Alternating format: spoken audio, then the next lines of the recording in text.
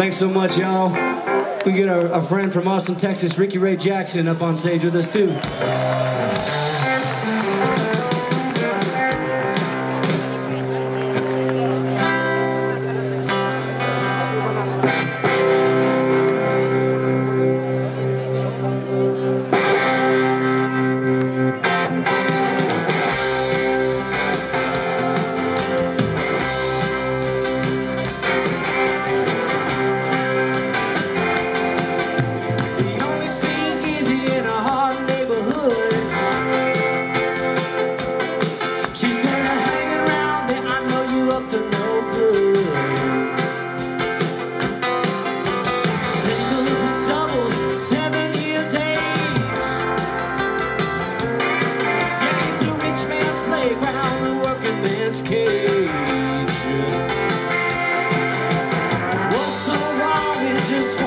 it's been